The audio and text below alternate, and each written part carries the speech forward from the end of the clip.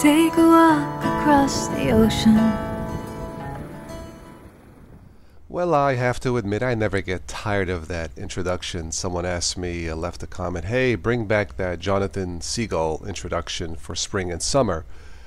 Well, it's not spring and summer here, but hey, just for you, I brought it back. And I wonder if I have anybody watching from, say, California, Florida, Hawaii. Here in Ohio, it's cold. All right. Anyway, received a question last night on how to increase the cursor size, the mouse cursor, in Ubuntu.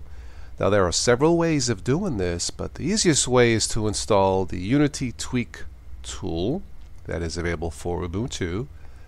And let's uh, see how this works. So let's go ahead and fire this up.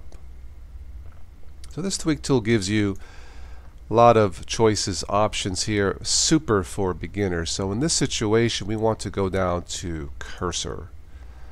Now I have this all set up by defaults, but you have theme, icons, cursor, fonts, cursor, and right down here it says use large cursors. So you click that, and if you want to make this even more prominent, how's that? So, so for that person who is visually impaired, uh, yeah, I think they already fixed it, but this is how you do it.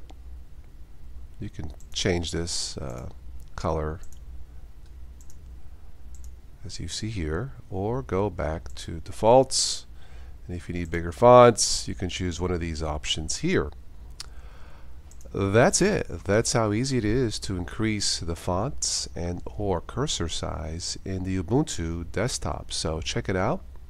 Hopefully this will work out for you. That's all I have for this one. As always enjoy your technology. Please don't text and drive. Be safe.